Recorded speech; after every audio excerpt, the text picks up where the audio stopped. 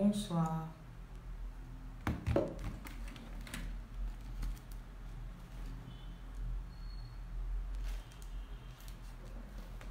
Alors, j'espère que vous allez bien. Vous allez bien, ça c'est sûr. Euh,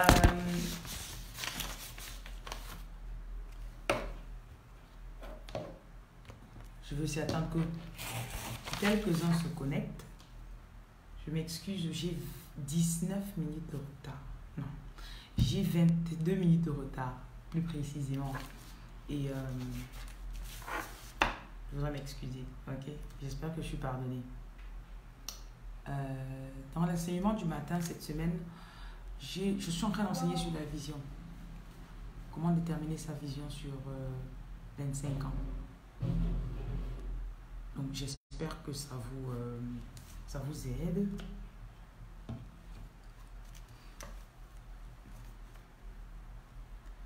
Pourquoi est-ce que j'ai intitulé ce direct Ton potentiel est caché dans ton passé? Il y a beaucoup de personnes qui me contactent. J'ai une, une potentielle coachée aujourd'hui. Euh, donc, elle a répondu aux questions, elle est passée par le processus normal. Et donc, quand on commence à parler dans la science découverte, elle sait que ce qu'elle est en train de faire pour l'instant, c'est une étude. Elle étudie à l'école. Bonsoir, Elsie. Euh, à l'école, elle est en train de faire quelque chose que ses parents lui ont demandé de faire. Et elle sait qu'elle n'aime pas. elle, est consciente que je ne veux pas faire ça.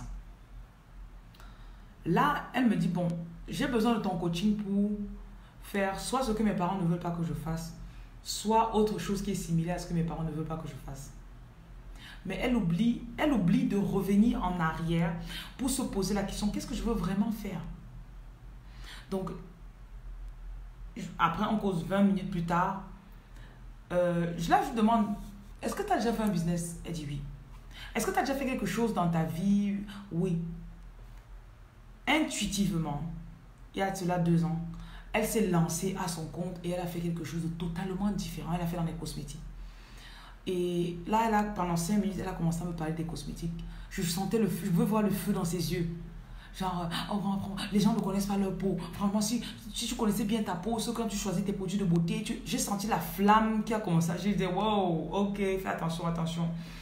Et sans qu'on ne le sache, on, va, euh, on a des personnes dans la société qui sont en train de poursuivre le rêve des autres personnes ou des personnes encore qui ne savent même pas c'est quoi leur potentiel. Alors que vous avez un passé, vous avez des choses que vous avez faites, vous avez des erreurs que vous avez faites, vous, avez des, vous êtes sorti avec deux, trois personnes qui avaient le même caractère mais avaient des noms différents. Et sans que vous ne le sachiez, votre potentiel est caché dans ce passé. Ce passé que vous détestez. Bonsoir Anne-Marie ce passé que vous détestez tant. Peut-être ce passé vous a laissé des cicatrices en forme de vergeture. Peut-être ce passé vous a laissé euh, des cicatrices en forme d'un petit garçon qui est là, ou une petite fille qui ressemble beaucoup à son père. vous voyez de quoi je vais vous parler, ok? Et sans que vous ne sachiez, vous, vous détestez cette partie de vous. Je déteste pourquoi? Non, non, le temps où j'étais avec le père de mon enfant. Non, non, non. Euh. Et quand vous parlez, on sent l'amertume qui monte carrément. On, donc, literally, I can feel your hate. I can feel it. Et vous ne savez pas que votre potentiel, c'est dans cette partie de vous que vous êtes en train de refuser totalement. Votre potentiel là, vous quand chaque jour, potentiel, potentiel, potentiel, ouais, potentiel. C'est pour ça qu'il est plus facile pour, pour quelqu'un qui a 20, 21 ans, qui est totalement en train de suivre ce qu'il, son intuition ou son, son drive, appelez ça comme vous voulez. Il est plus facile pour quelqu'un qui est jeune et qui travaille et qui est engagé de suivre son potentiel par rapport à quelqu'un qui a peut-être 30 ou 40 ans, qui est conditionné par son environnement, conditionné par les autres personnes. Donc, votre potentiel, c'est dans l'école où vous êtes parti, la filière que vous avez faite. Je vais juste prendre le cas de la filière peut-être. Vous avez peut-être fait une filière. On a déjà étudié comptabilité. Tu arrives et tu fais première année compta. Tu dis que je sais que je sais que la compta, ce n'est pas pour moi. Écoutez-moi bien. Donc, je sais que je sais que la compta n'est pas pour moi. Et pendant que vous étiez en compta, peut-être, vous avez eu... Attendez, une minute. Ça, ce que je, ce que je fais, c'était totalement pas professionnel, mais bon. Vous allez m'excuser. Donc, je parlais de compta. Tu fais la compta et un an plus tard, tu as 20 ans, 21 ans. Tu sais que ce n'est pas la compta que tu veux faire. Donc, je sais que je sais que ce n'est pas la compta que je veux faire. Et peut-être pendant que tu étais en compta, tu, as, tu es tombé sur un truc de, de, vente en ligne comme ça. Tu as acheté des produits, tu as envoyé tes 100 euros, tu as acheté un produit, tu as commencé à vendre le produit. Et en vendant, tu partais à l'école. Mais en vendant, tu t'es rendu compte que les femmes à qui tu vends les produits, ou bien pour t'en sortir et payer tes études, tu as dû faire la coiffure. Et en coiffant, tu coiffes, tu coiffes. Après un jour, tu, te rends compte que tu conseilles les gens dans la coiffure. Les gens veulent venir que non, je veux que ce soit toi qui me coiffe. Parce que quand tu me coiffes, tu as une façon de toucher mes cheveux. Après, quand tu donnes, tu me conseilles sur la façon de traiter les pellicules. Tu as une façon là. Quand tu me parles, vraiment, ça, ça rentre vraiment bien là. Je suis inspirée. Votre potentiel ne va jamais s'ouvrir dans les conditions optimales. Genre, ouais, euh, je suis partie à l'école, c'est quand j'ai fini ma licence. Et le jour où on me remettait mon diplôme, c'est là que j'ai vu une étoile dans le ciel qui a écrit Ton potentiel, c'est la coiffure. Non. Non. Ça peut-être tu es arrivé chez. Je suis arrivé chez, en Europe et euh, il n'y avait pas moyen de s'en sortir financièrement. Tu as donc pris. Euh, euh, je sais pas, tu as décidé d'aller travailler pour une dame elle t'a mis au salon de coiffure. Et au pays, toi, la coiffure, ça ne t'intéressait pas. Mais quand tu es arrivé là-bas, tu as commencé à coiffer. Tu as commencé à dire, mais attends, la coiffure, là, ça peut être intéressant. Hein. Six mois plus tard, tu connais tous les coiffures du salon là. Six mois plus tard, quand quelqu'un arrive, il dit que c'est seulement, je veux que c'est seulement Jocelyne qui touche ma tête. Ton potentiel a tout sa confirmation à côté. C'est la chose là que quand les gens, on te voit, on dit que non, tu fais ça bien. Tu es arrivé là depuis là. Je n'ai pas encore manger une qui comme pour toi. Non, non, non, non. Je n'ai pas encore manger une qui comme pour toi. C'est tellement bon. Tu fais ça comment? Monsieur Onana, comment tu vas? Donc, votre potentiel, c'est dans les souffrances que vous avez subies là. Tu es arrivé, tu as fait 6 ans en Europe, tu n'avais pas les papiers. Tu as galéré. Et peut-être tu avais même deux enfants au-dessus. La galette t'a touché, ça t'a rentré dans tes os. Vous savez que le soir, je suis en mode relax, ok? Donc, euh, la galette t'a touché en euros. Et dans cette galette-là, tu t'es retrouvé en train de préparer. Tu faisais la nourriture pour vendre. Et après, les gens commencent à te connaître. Le jour où tu donnes les papiers, tu ouvres seulement ton restaurant. Cinq ans plus tard, quand tu as ouvert les grandes branches au Bullring de Birmingham, je ne sais pas, en Angleterre, on vient te dire, waouh, comment tu as fait pour découvrir que c'est la cuisine qui était ton potentiel? C'est que les circonstances. Les circonstances. Votre potentiel est caché dans votre passé. Et il ne va s'ouvrir que quand vous allez accepter votre passé. Beaucoup de personnes, ouais, voilà, non, non, non. Non, non, non, non, non, je, lui là, mm, mm. je l'ai connu, non, non, Peut-être c'est ton ex là qui t'a endurci le cœur, qui a fait que pendant les dix dernières années, tu bosses comme un malade sur ton business. Et que finalement tu découvres que voilà, ma, mission de vie c'était de t'apporter ce produit sur le marché qui va aider tel, tel type de personne. Donc ce qui vous est arrivé n'est pas forcément du négat, négat, négatif. Ou bien quand vous arrivez au moment je sais pas, vous cherchez à avoir les papiers, vous vous train d'épouser quelqu'un. Vous vous train d'épouser. Bonsoir et bienvenue. Merci pour le partage, pour ceux qui partagent mes vidéos. Vous arrivez en Europe pour vous retrouver là. Les choses que vous n'avez jamais pensé que vous pouvez faire. Vous vous de sortir avec un vieux père. Et c'est chez le vieux père là que vous arrivez, vous découvrez, waouh, euh, la photographie, supposons. Le mariage en lui-même, c'était un fiasco. Mais le mariage vous a permis que vous touchez l'appareil photo et que vous commencez à, je sais pas, et de là, vous connectez deux, trois trucs et la photographie, vous découvrez que vous avez une passion pour la photographie. Alors qu'en restant dans votre, dans votre, je sais pas de quel côté de, de, de, de Londres vous allez rester, vous n'allez jamais toucher un appareil photo. Est-ce que vous savez qu'il y a des gens qui n'ont jamais touché l'appareil photo? Je me rappelle, moi, la première fois que j'ai touché un appareil photo, genre pas touché, mais vraiment touché pour découvrir, pour utiliser. La première fois, ça devait être en 2016. J'avais découvert le coaching. Merci Onana pour le partage. J'ai découvert le coaching. Je savais que je voulais faire dans le coaching. Mais j'ai aussi découvert qu'il fallait faire des vidéos. Et moi, j'étais, je ne savais même pas ce qu'il fallait faire. Je ne savais pas de quel côté il fallait commencer pour faire des vidéos. Donc, ma première vidéo que j'avais faite qui m'avait coûté 450 pounds et qui durait 51 secondes, j'ai payé. Et quand j'ai vu le résultat de ce que le gars a fait avec la vidéo, je me suis dit, il faut que j'achète l'appareil photo, j'apprends à faire des vidéos. C'est là que j'ai... Donc, de fil en aiguille, vous vous trouvez, vous touchez l'appareil. Et c'est quand vous touchez que vous découvrez que... J'ai le potentiel dans le, hey, la photographie là. J'ai interviewé euh, Maeva. Euh, Maeva, si vous le connaissez, il est en Belgique, chirurgien de l'image. Maeva, si tu vois cette vidéo, je te salue. Euh, je l'ai interviewé, il m'a raconté comment, de fil en aiguille, il, il, est, informaticien de formation. Donc, il est arrivé en Belgique et jeune étudiant. Je l'avais rencontré au départ en 2006. 2007, quand lui-même venait d'arriver en Belgique. Moi, je venais d'arriver aussi. Et on était juste potes comme ça en passant. Donc, on s'est séparés. Et je suis là en Angleterre, j'ai fait 9 ans. Donc, 9 ans plus tard, on se reconnecte. Et là, je vois Maëva, il y a un grand photographe. Je dis, mais quand tu es arrivé en, quand tu es arrivé en, Belgique, les, les, les, Camerounais, généralement, les trucs qu'on photographie, c'est pas trop leur truc. On disait tous des blancs là-bas. Donc, je l'ai interviewé donc. Et dans l'interview, il racontait comment il a fait pour découvrir son talent de photographe. Il est arrivé à une fête un jour. Bon, oui, que ses oncles faisaient la photographie, c'était pas trop son truc. Il est arrivé dans, un barbecue, précisément. Et c'était à l'aide des, petits, appareils photo là. Il y avait des petits, appareils photo. Donc, euh, les gens ont commencé à manger. Et vous connaissez les, les fêtes des Africains en Europe. Donc, il, après, on lui a dit, ah, prends un peu les photos. Donc, il a sorti son faux petit appareil là.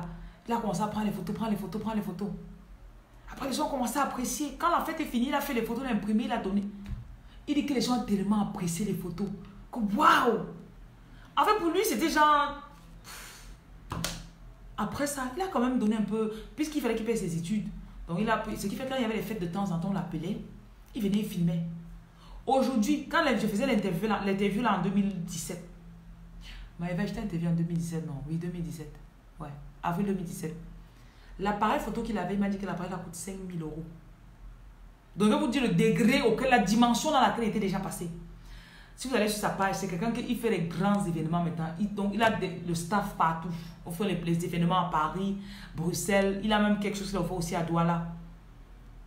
Parce qu'un jour, là, il s'est retrouvé quelque part. Il n'y avait pas un photographe.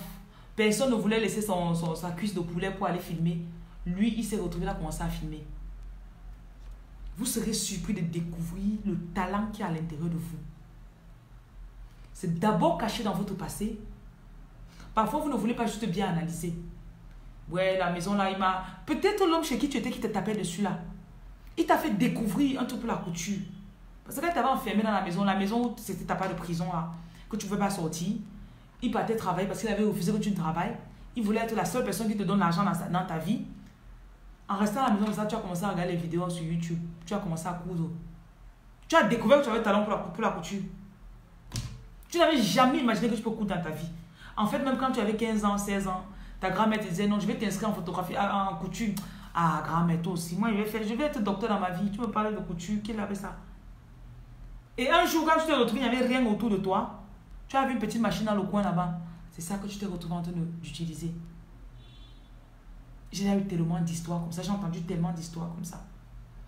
Mon talent dans la motivation, j'étais très timide quand j'étais jeune. Et il y a une amie, qui m'a, une amie du lycée. Elle m'a connue quand elle avait peut-être 10, 11, 12, 13 ans comme ça, dans mes années de lycée. Et elle me contacte, elle me dit que tu as changé. Bonsoir, coach Chanda. Comment tu vas? Et là, elle me dit, tu as tellement changé. Tu étais timide avant. Donc, moi là, je mettais les lunettes d'abord comme ça là. Et j'étais, bon, c'est vrai que je suis toujours mince, ok? J'étais mince. Et le dernier argument, c'est que j'étais très timide. Et là, elle me dit, mais qu'est-ce qui s'est passé? J'ai dit, ma chérie, J'ai eu des circonstances. J'ai voulu manipuler le système pour avoir mes propres papiers. J'ai voulu manipuler les gens pour avoir ceci d'eux. Et en manipulant, plus j'ai voulu manipuler moins que ça a marché. Je me suis retrouvée au bottom, bottom, bottom. Au fond, en fait, je veux dire. Là, j'ai regardé. Quand je n'avais pas les papiers en Angleterre, quand je restais, je regardais, je voyais comment les jeunes souffraient. Quand ils arrivent, il n'y avait personne pour les diriger. Déjà que la famille avait généralement vendu tout au pays pour pouvoir payer le billet et le visa pour que vous vous retrouviez en Europe. Et quand ils se retrouvaient en Europe, ils ne faisaient rien. Ils tombaient juste dans les demandes de papier. Ils tombaient dans des systèmes où il faut faire l'enfant. Tu fais même l'enfant, ça ne te donne pas les papiers. Du coup, j'ai regardé ça. Et moi-même, je n'avais pas les papiers. J'ai commencé à organiser alors les trucs. Chaque fois que je voyais les gens, je les encourageais. J'ai commencé à organiser des réunions en Angleterre. Personne ne venait même. Je me rappelle j'ai organisé l'autre comme ça. J'ai tout préparé, j'ai tout apprêté. À l'heure, là, chacun m'envoie le message. Je te rappelle, demande, tu es où? Ah oui, moi j'ai eu un petit truc là. Ah oui, moi j'ai eu. Personne n'est venu. Je me suis assise dans mon salon comme ça, j'ai regardé. Même le gars qui m'encourageait que j'organise. hey, Seigneur. Parfois, vous allez vous faire les choses aujourd'hui. J'ai seulement compris que si je dois faire, je fais seulement. Même s'il n'y a personne qui vient, je m'assois je et fais seulement. Même le gars qui m'a dit que non, fais, fais. Si tu fais, je vais, venir avec toi, je vais t'encourager. Je me suis assise dans mon salon le jour-là, je regarde. J'avais fait le jus de grenadine. Vous voyez la grenadine qu'on dilue là, j'avais fait ça. Et où j'avais fait les pop-corn. Bonsoir Annabelle. J'avais fait deux, trois trucs comme ça. Bonsoir Sandrine. Et là, j'ai mis, j'ai attendu, personne n'est venu. Après, ça m'a découragé. J'ai dit que je vais même que les Africains là périssaient même. C'est même quoi ça? On vous encourage, vous ne comprenez pas. Ah bon, hein, dans ton activité culinaire, je pense qu'on devrait faire une interview comme ça, coach Jean d'Arc. Comment tu as découvert ton potentiel? Ça, ce serait une super idée. Que tu nous dises comment tu as, tu t'es retrouvé, comment tu as découvert. Tu ne savais pas que c'était ta, tu savais pas, c'était ta passion. Pour toi, cuisiner, c'était normal, sans plus. D'où l'importance de valoriser ce qu'on fait. Ça, c'est super. C'est juste que je suis en train de vouloir mettre une plateforme où je pourrais interviewer constamment les gens. Bonsoir, Constance. Comme ça, quand je suis en ligne, comme ça, vous vous connectez, vous parlez. Je voudrais qu'on puisse faire cette interaction-là. Donc, euh, parce que j'aime bien les histoires. J'aime quand quelqu'un raconte son histoire. Parce que parfois, quand, on voit les gens, moi, je, ce n'est pas seulement qui je vois aujourd'hui qui m'intéresse. Je veux savoir comment tu es arrivé là. Parce que moi, c'est ça, pour moi, c'est ça la crème de la crème. Je ne veux pas venir, je vois ton grande entreprise, ça m'impressionne. Je suis désolée, je ne suis pas impressionnée par les grandes entreprises, les grandes voitures, tout ça. J'aime bien. Quand je conduis, ça me plaît. Euh, mais je ne vais pas être impressionnée par ça. Ce qui me plaît, c'est je veux savoir ce que tu as traversé pour être là. Parce que les jeunes aujourd'hui aiment seulement sauter les étapes. Non, donne-moi la grosse voiture. Moi, je veux, non, non, je veux seulement la grosse voiture. Je veux seulement les 30. Je veux porter 30 000 euros une fois. 30 000 euros une fois. Tu as 30 000 euros 5 fois, ça fait l'argent de la maison en Europe. Bonsoir Sarah Ruth. Lago, hein. Lago. Je vais bien, Lago. Donc, euh, euh, euh, aujourd'hui, les jeunes veulent seulement, donne-moi le cash, je veux l'argent maintenant. Alors que si la personne te donne la sagesse, il te décrit comment il a fait pour quitter de là.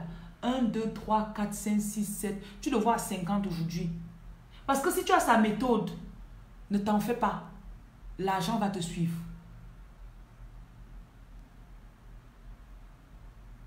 Oui, oui, j'en faisais en live.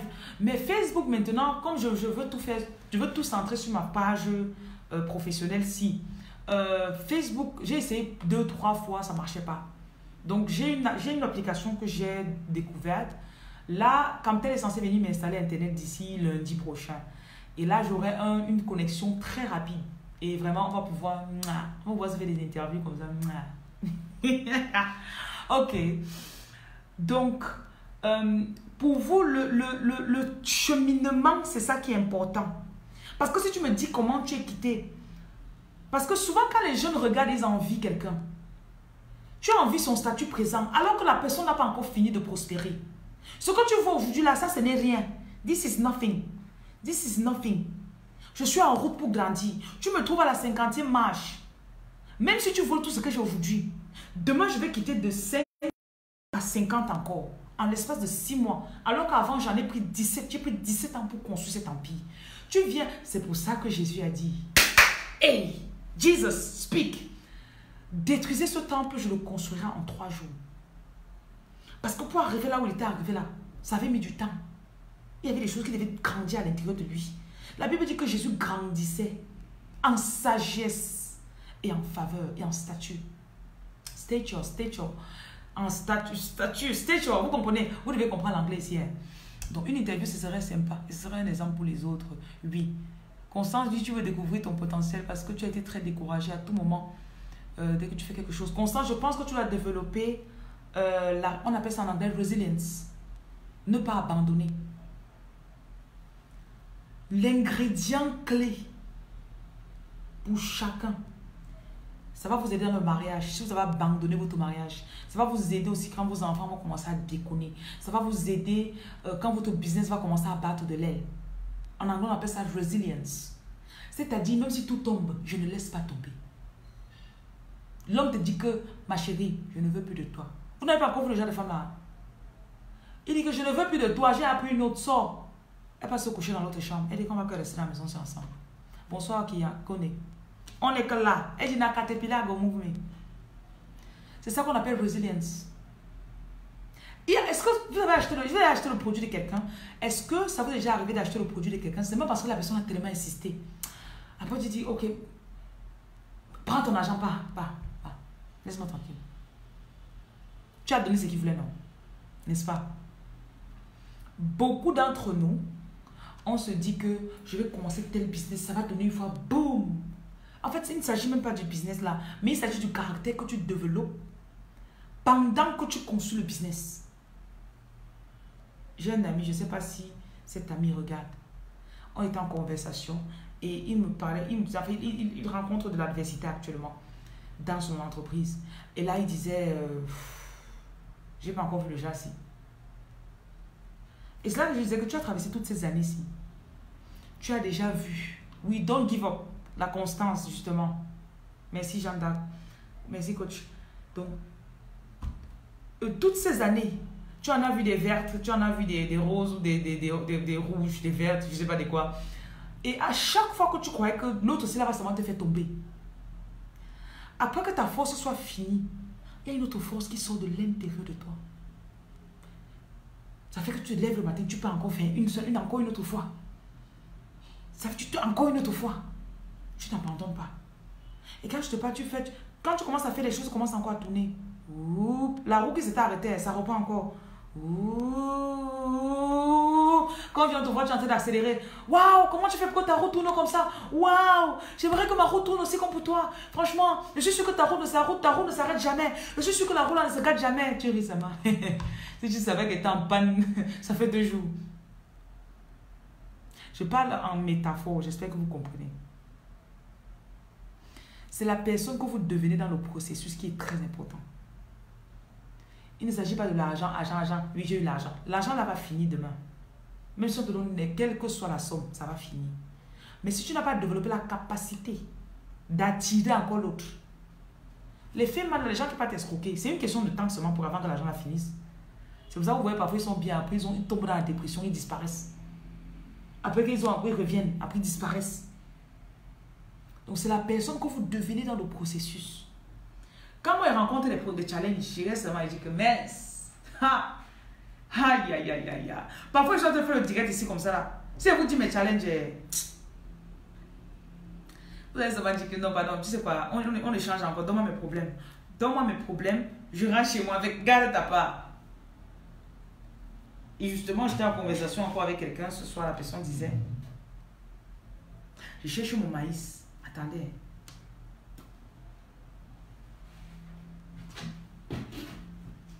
Qui connaît ça? Attendez, je vais ça Vous connaissez ça Je vais parler des choses importantes, mais je vous montre d'abord mon maïs. Et là, il disait ceci. On discutait juste. Et à un moment, il s'est juste rendu compte que Attendez.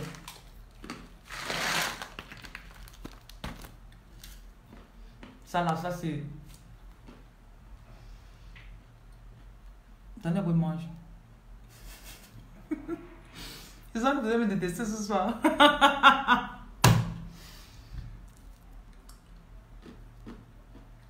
ça c'est pour le pays. Ça c'est pour le pays. Alors, je suis du village. Je reviens dans le business, hein. je parle à beaucoup aussi.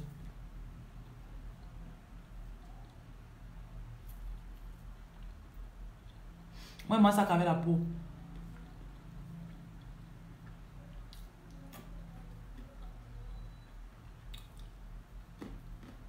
Donc, qu'est-ce qu'elle disait encore?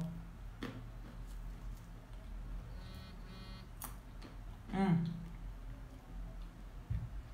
Bonsoir, bonsoir. Hmm, hmm. C'est 1500 la boîte. 1500 la boîte. Au cas où mon amour ça dit.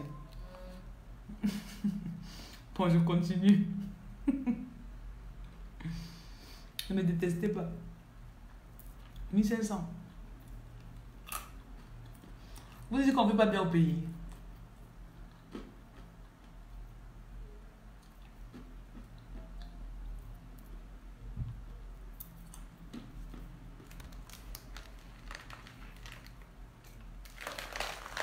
Comme ça, regarde.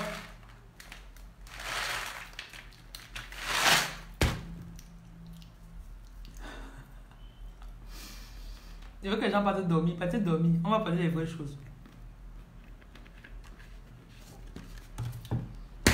Vraiment, le soir, je me mets à l'aise. Vous avez compris. Je ne me mets pas la pression comme le matin. Donc, ceux qui me, ceux qui me suivent là, mince. L'autre aussi, particulièrement, c'est très bon. La femme a bien frit ça. Hmm? A bien grillé ça.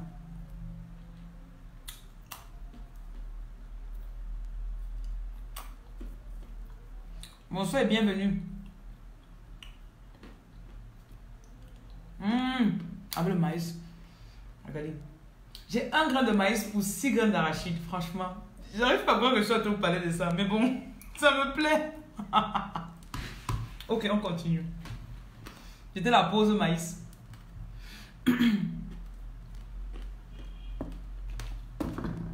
Qu'est-ce que je disais? De l'importance de développer une résistance. Parce que vous allez rencontrer de l'adversité. Vous allez rencontrer des problèmes. Vous allez rencontrer des situations. Et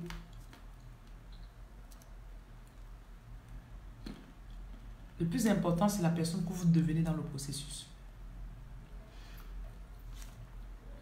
Si vous, sautez la place de sous-chef, vous arrivez à chef directement.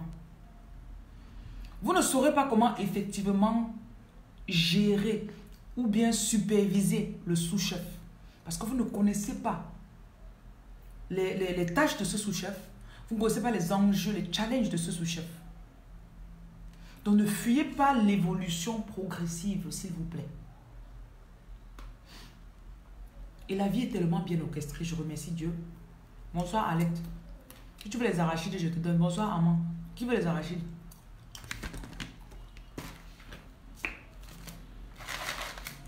Voilà ça. Qui veut? Bon. Voilà encore ça. Beaucoup d'arachides, peu de maïs. On continue à parler des choses sérieuses. Vraiment, ça là. Hein. La nature a été faite de telle façon que, même si tu sautes les étapes, tu as quelque part, tu donnes un CV, tu mens. Tu sautes, on te met en haut. Tu ne pourras pas maintenir cette position. C'est pour ça aussi que ceux qui sont victimes d'injustice, Dieu finit par les payer. Il finit par vous repayer. Et c'est que nous sommes dans une ère où les jeunes n'aiment pas beaucoup travailler. Je suis en train de chercher d'employer des gens. Donc, du coup, j'ai une jeune femme qui arrive ici là tout à l'heure. J'ai remarqué que les jeunes veulent plus. Tu vas me payer combien? Ce sera, tu commences à me payer à partir de quand? Au lieu d'aller vraiment, ok, je vais te montrer mes compétences. Qu'est-ce que je vais apprendre dans ce boulot? Est-ce que vous savez que les entreprises, vous pouvez partir? Au lieu qu'ils vous payent, vous apprenez tellement là-bas que quand vous sautez, votre prochain boulot, c'est deux fois plus que ce que vous allez demander à la, première compagnie. Surtout au Cameroun, j'ai remarqué que les jeunes, il va te demander seulement le salaire, salaire, salaire. Après, il ne va pas délivrer le travail. Aussi malheureux que ça paraît.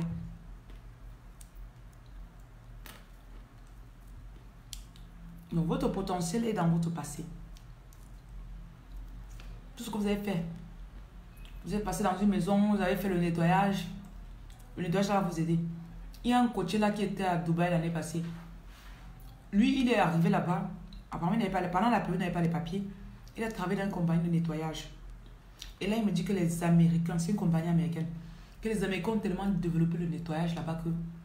Donc, tout ça part, tout ça, son obsession, c'était de rentrer au Cameroun et développer le business du nettoyage. C'est fou, non? Au Cameroun, quand tu dis que tu nettoies, on te dit. Sa passion, c'était de rentrer au Cameroun, nettoyer, acheter les machines. Et tu vis comment après, comment euh, le Camer Tu peux tu peux t'exprimer un peu plus?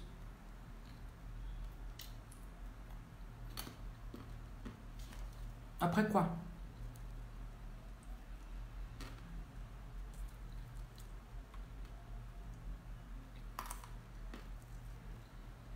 Donc hier, j'ai ouvert les questions. J'ai dit ceux qui avaient des questions, vous pouvez les poser. Et là, il y a euh, une jeune fille qui a parlé de Constance. Tu vois que tu veux découvrir ton potentiel parce que tu étais très découragée. Waouh, on m'a fait 30 minutes. Et je crois que je t'ai répondu. Ton potentiel, tu le connais déjà, mais il faut juste que tu repartes et que tu accentues. Reprends là où tu avais abandonné la dernière fois. Le Camer, sans salaire. Hein. J'ai vu tellement de personnes ici au Cameroun qui vivent sans salaire. Tu vois, un jeune, il va te dire que ça fait 7 mois dans une entreprise et il travaille. On ne le paye pas. Il y a certains patrons qui prennent les gens et les, et les exploitent. C'est vrai que ça, c'est pas pas arrosé du tout. Je sais pas, je veux pas dire c'est méchant, mais bon, je pense que c'est un peu méchant quand même. Tu prends l'enfant de quelqu'un, il quitte de chez lui chaque jour, 5 fois la semaine, il vient dans ton entreprise. Ça fait 7 mois que tu n'as pas de l'argent. Il y en a. Moi, je dis toujours, hein, vous savez, il y, a a mes alarmes de 22h, là, 22h. Il y a des lois de la nature qui reviendront toujours vers vous. Dans ton mindset, va pour apporter de la valeur. Va pour apprendre. Quand j'ai apporté la valeur, va travailler. J'ai fait une vidéo, ça fait trois jours, où je parlais de comment obtenir une promotion au boulot. Si tu mets ça en pratique, peu importe l'entreprise où tu es, soit ils vont te donner la promotion, soit quelqu'un de haut va te chercher, va te dire quitte la compagnie, là tu viens, je te paye ici. Je veux que vous compreniez que ce sont des choses qui ne fonctionnent pas avec le... Tu ne regardes pas l'homme, mais tu sèmes. Parce que tu comprends que ce n'est pas l'homme qui te récompense. Notre récompense ne vient pas de l'être humain. Dieu utilise les êtres humains pour nous, pour nous récompenser. Parce que je ne sais pas, c'est que tu vas aller voir que, ah oui, merci, euh, merci, si ce n'était pas toi, c'est que je n'allais jamais réussi dans ma vie. Hé, hey, tonton. Non, Dieu a utilisé la personne. Tu lui dis merci, mais ce n'est pas ton Dieu. quand tu pars, tu travailles, la Bible dit que tout travail que tu fais, fais comme si tu travaillais pour Dieu. Donc fais avec tout ton cœur. Tu fais avec tout ton cœur. Généralement, ces gens-là se plaignent beaucoup. Ah non, il n'y a pas. Ah, le patron a fait comme ça. Ah, tu critiques ton patron. Vraiment que quelqu'un que tu critiques va te donner la promotion? Même dans le rêve de la nuit, là, Dieu va lui montrer comment tu as dû le critiquer.